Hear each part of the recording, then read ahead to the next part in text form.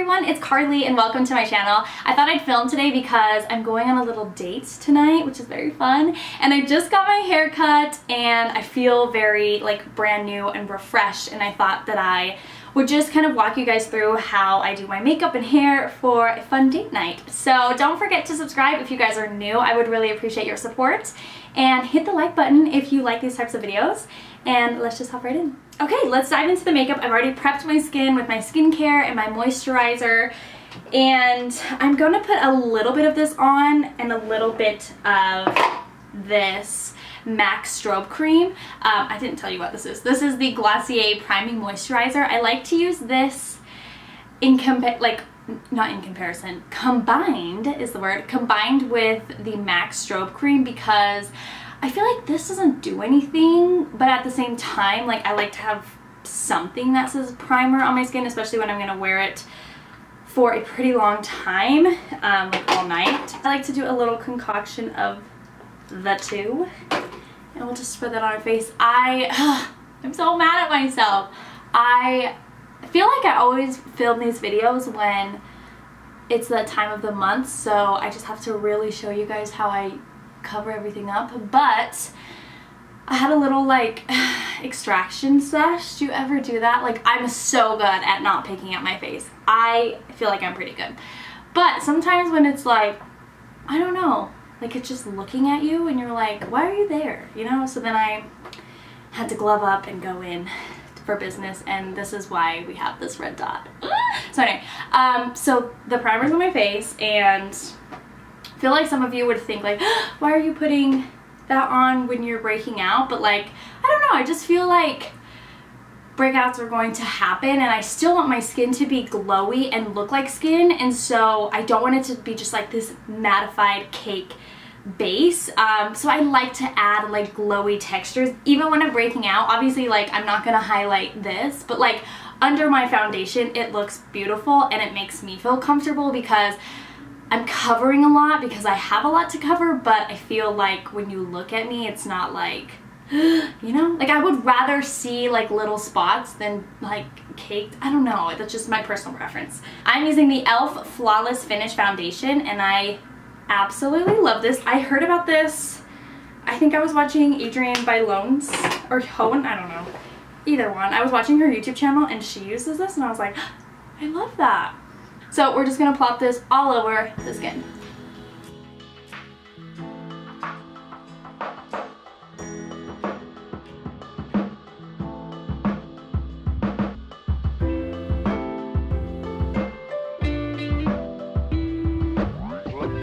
one pump really does my whole face. Um, as you can see, it's just like a nice even coverage. I like it because it's very buildable, but on like one pump, this is kind of what you get. And I like the way that it looks.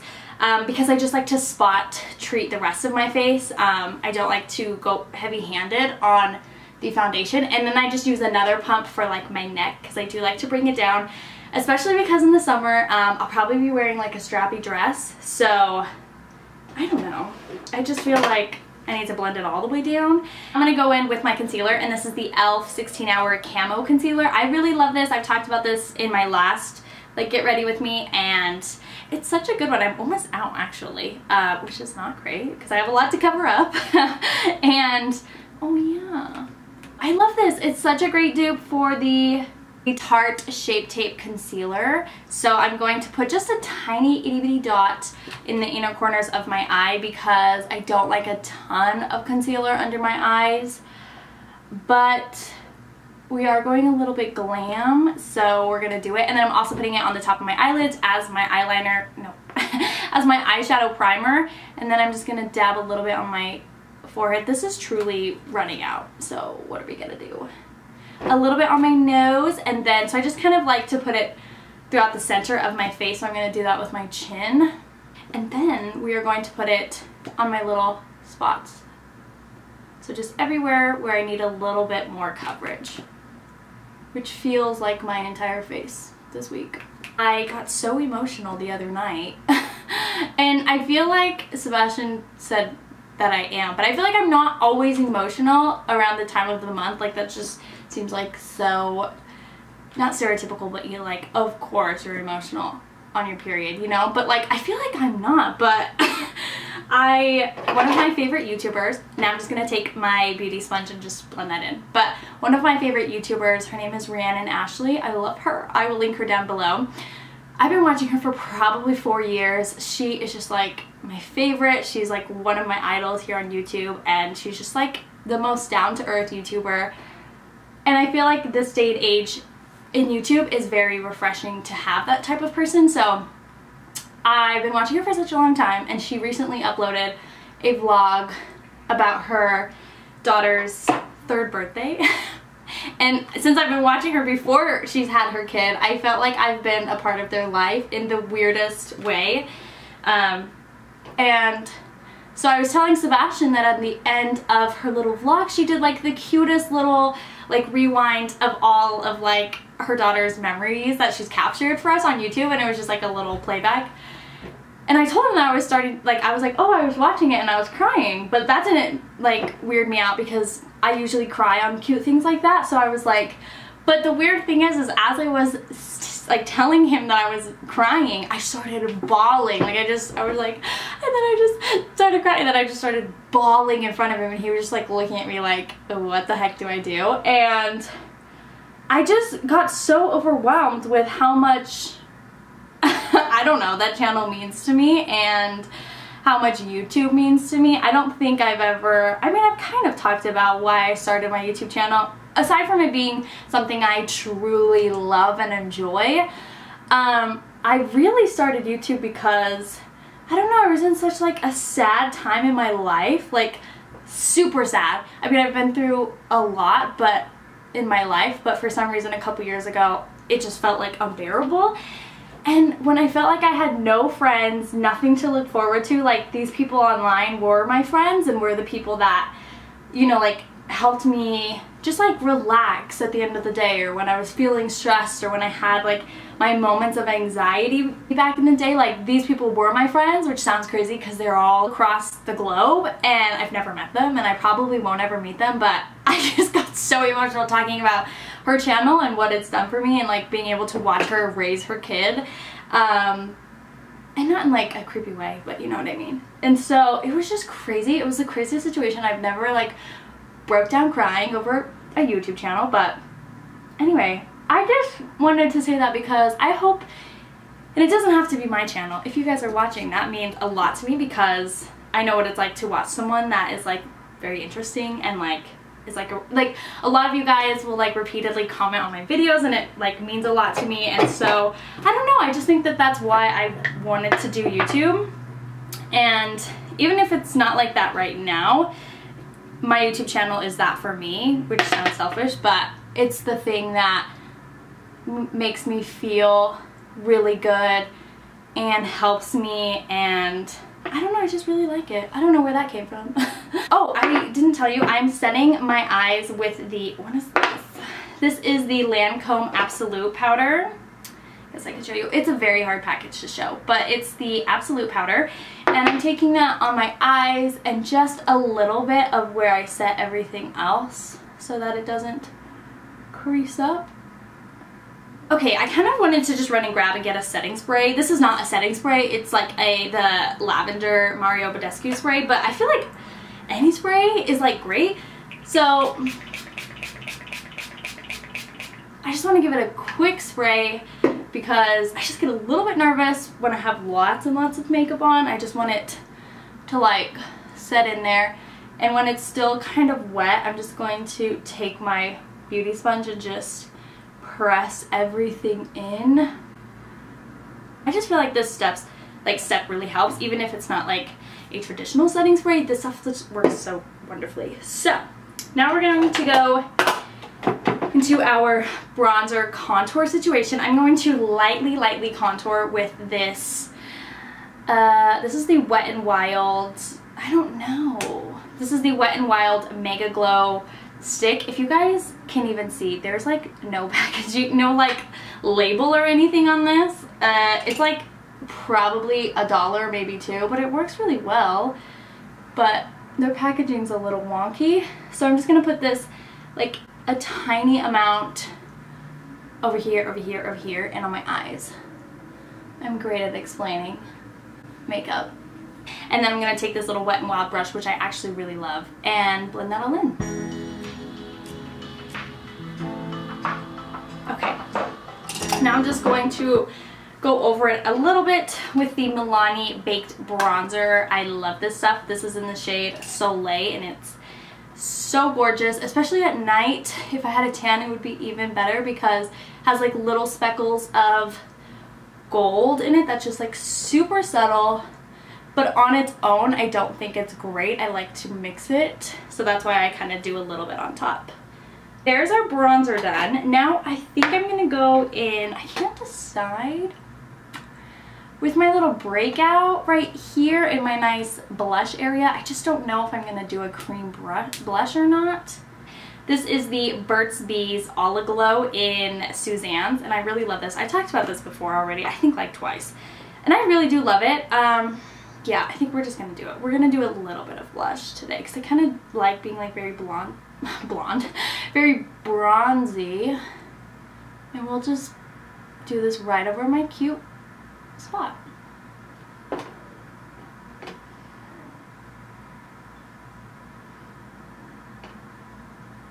And I just think that's a stunning blush. I just love to like blend it all in. And then I'm going to set that or spray it one more time with the lavender spray from Mario Badescu. I just love to just add so much moisture into my skin and make sure everything is very pressed in and hydrated. This is from Ofra and this is the Glazed Donut.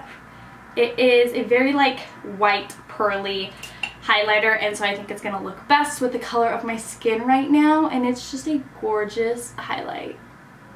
I don't know. It's very pretty.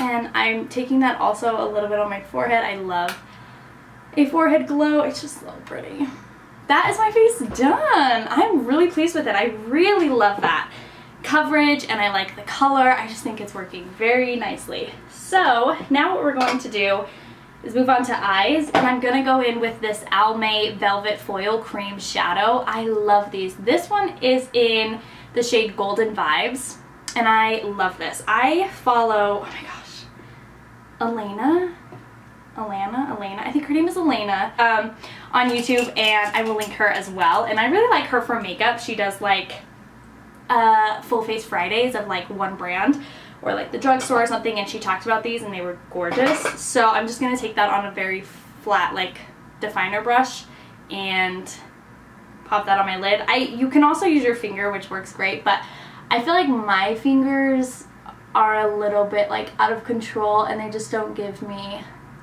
they kind of spread it where I don't want it to go. Yeah, so I just think it's like a gorgeous foil shade. It's very summery, very pretty, very glowy with the rest of us. And then I'm going to go in, pop into the James Charles palette because I really like this particular brown. I just, mm, I don't know what the, the shade name is. I'm super sorry, I don't know. But this brown right here is just really nice for in the crease. So I really love that. So I'm just going to pop that on the crease just to kind of blend everything out. I didn't want anything too orangey and so just like a nice straight brown I think is pretty for our transition shade.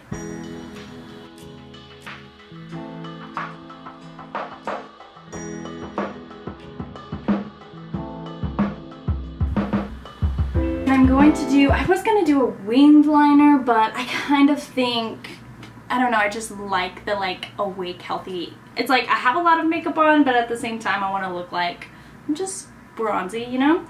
And so I think I'm just going to do a little bit of a darker shadow. From the same palette, I'm going to go into this brown here. I don't know what it's called. Sorry about that. But I'm just to take it on a very, very short definer brush like so and just pop it as close to the lash line as I can get. Just kind of smudge it out.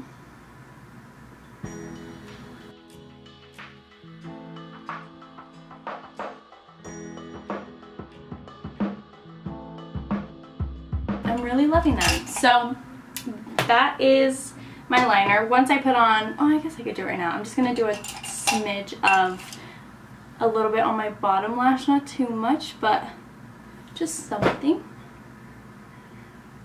And I'm just taking that same brown that was in my crease. I just popped it on my lower lash line. For mascara, I am using the Laura Mercier Caviar Volume.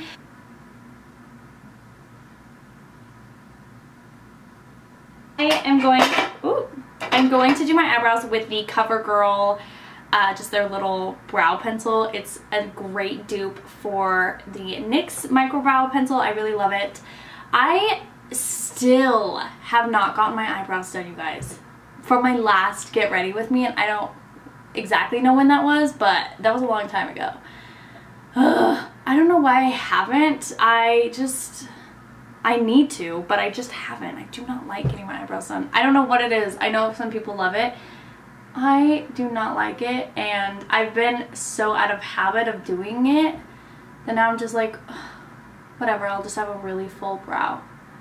But this is the last week I can go without getting them. So next time I put a video up, my eyebrows will be better, I promise.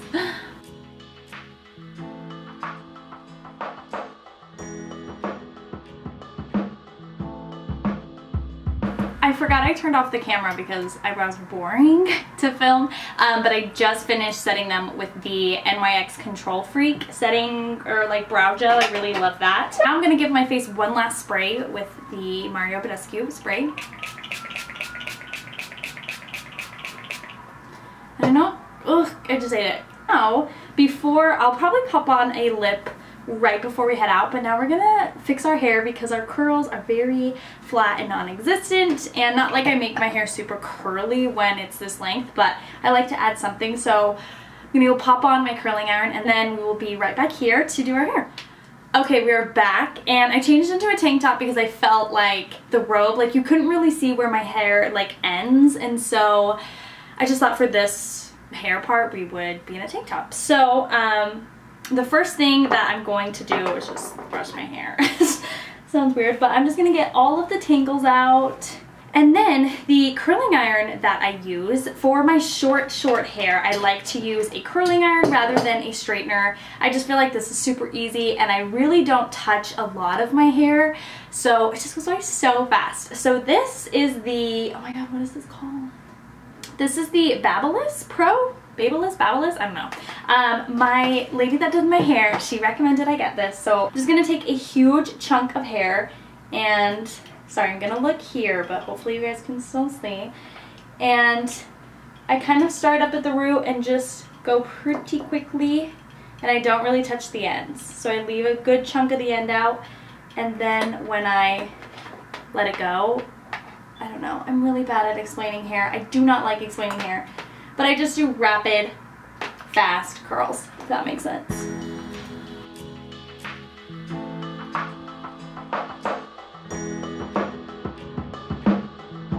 And as you guys can see, I'm not like touching the bottom at all. I'm not sectioning. I'm just kind of going randomly throughout my hair because the bottom's so short that it's not even worth it and it would like stick out weird. Um, so this, just doing the top pieces really helps get just like those fun beachy, relaxed waves. And then I'm just to move on. So that took me like four minutes maybe. So I'm just to go to the other side and I'm to continue on doing away from my face. Every once in a while, I think you're supposed to do like one towards your face, but I always forget to do that like I did on this side. So I don't do that. but I think you're probably supposed to, to give like that beachy look.